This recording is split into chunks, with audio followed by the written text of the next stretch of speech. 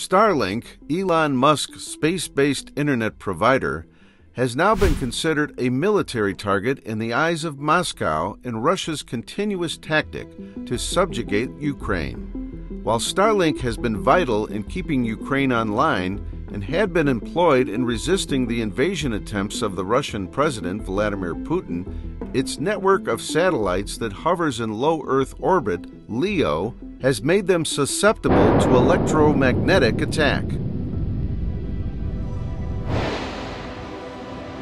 Liftoff of the Falcon 9. SpaceX recently launched another one of its Falcon 9 rockets into space. This rocket bore 53 Starlink satellites to orbit. There are, as of today, more than 3,000 in operation, with plans currently ongoing to launch a much more powerful rocket, known as the Falcon Heavy. And this time, the contents of the rocket are strictly classified, as it involves the U.S. Space Force. These frequent launches further escalate the tensions between the United States and Russia, which ordinarily are at an all time high. While speaking at a recently concluded space conference, the deputy commander of the U.S. Space Command, Lieutenant General John Shaw, said he was certain that his counterpart in Russia, whoever that is, was not very happy with Starlink, as it's assisting Ukraine. General John Shaw further stated that with commercial imagery, such as Maxar's products, that are plastering all over the world news on events taking place at the warfront, he does not think Russia was pleased about that either. He also expressed fear that Russia would take steps to try and stop those commercial services because they run counter to Russians' national interest. In light of this, the Russian government, in response, has indirectly sent a warning to Musk that Starlink satellites will be shot down. A senior Russian foreign ministry official, Konstantin Vorontsov, further dubbed the use of Western satellites to assist Ukraine as an extremely dangerous trend towards a full fledged arms race in outer space. He also claims that the use of these commercial satellites to assist Ukraine was provocative. Vorontsov, while speaking at a meeting of the UN's Committee on Disarmament and International Security, had expressed in very strong and clear terms Russia's frustrations and dissatisfaction with the West's intervention using commercial satellite apparatus and what he called an interference. He suggested that the Russian government considers such assistance as a direct participation in the war, meaning companies such as Starlink are likely to be labeled as parties in the opposition that Moscow may have to fight.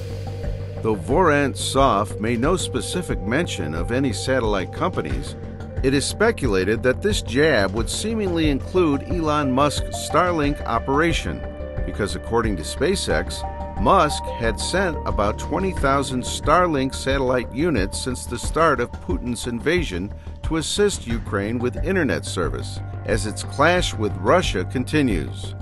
Likewise, among all the Western companies aiding Ukraine, Musk and his Starlink satellites are most likely to anger Russia the most. Musk had also earlier made mention of his satellites being targeted already by cyber warfare attacks, with speculations of attempts to blind Starlink with Peresvet laser beams fired from Belgorod in Russia. It's also worth noting that the billionaire asked the Pentagon for financial aid in funding the operation earlier last month claiming the project had cost SpaceX around $80 million. Despite the online backlash, Musk still agreed that he would keep funding the operation for free if needed, stressing the need for good deeds in times like this. Musk had tweeted, The hell with it. Even though Starlink is still losing money and other companies are getting billions of taxpayer dollars, we'll just keep funding Ukraine government for free. Let's not forget that Russia first invaded Ukraine on the 24th of February 2022 in a major escalation of the Russo Ukrainian War, which originally started in 2014. The invasion, without a doubt, has resulted in tens of thousands of deaths on both sides, leading to Europe's largest refugee crisis since World War II. As of late May, an estimated 8 million people have been displaced within the country with 7.7 million Ukrainians fleeing the country as of 18 October 2022. The invasion began on the morning of February 24 after Putin announced what he called a special military operation for the demilitarization and denazification of Ukraine.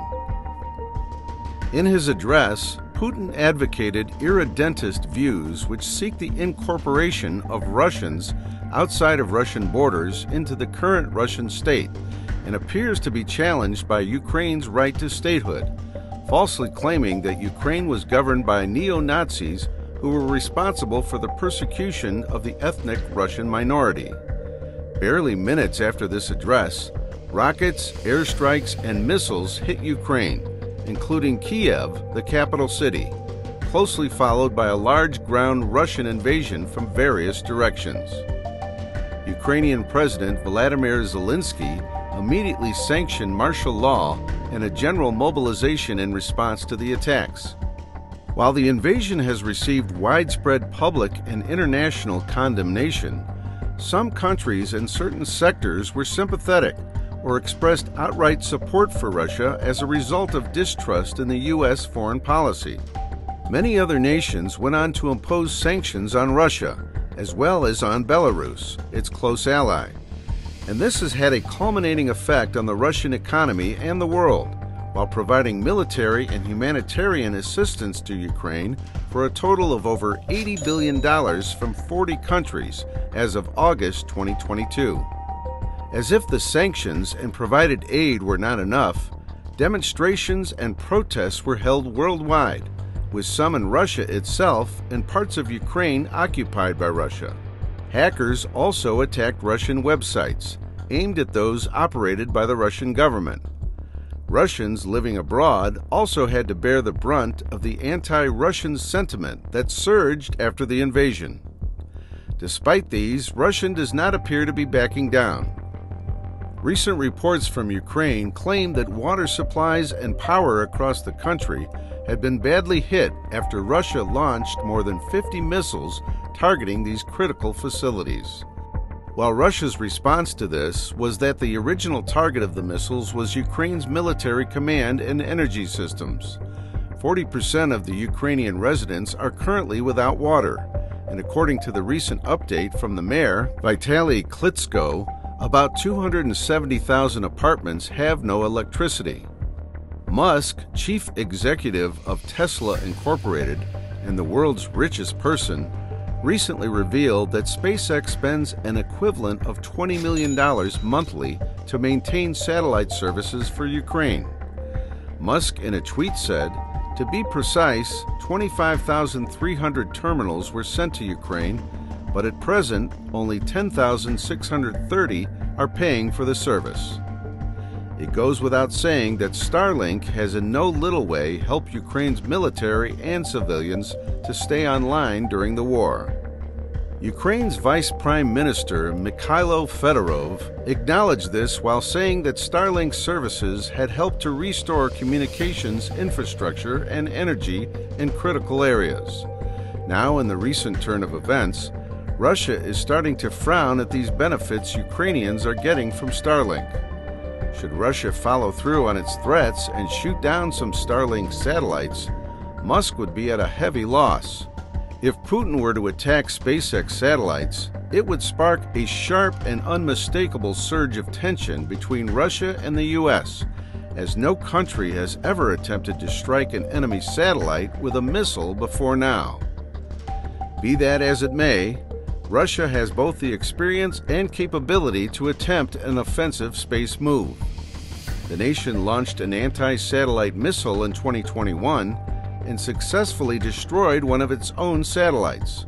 So we know they have the capability to make good on their threats. However, in response to these threats, the White House said it would be sure to respond appropriately to any attack from Russia against U.S. commercial satellites. Any attack on U.S. infrastructure will be met with an appropriate response appropriately.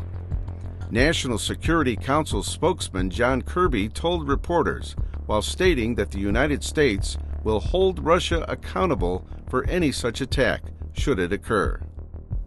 Amid Russia's invasion of Ukraine, and barely days after Russia made its threat to target these commercial satellites that have provided a godsend to Ukraine and its supporters during the war, White House Press Secretary Karine Jean Pierre further buttressed what her counterpart at the Pentagon already said.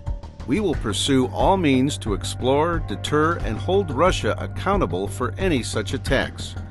Clearly, I'm not going to lay them down here in public, but we have made ourselves very clear.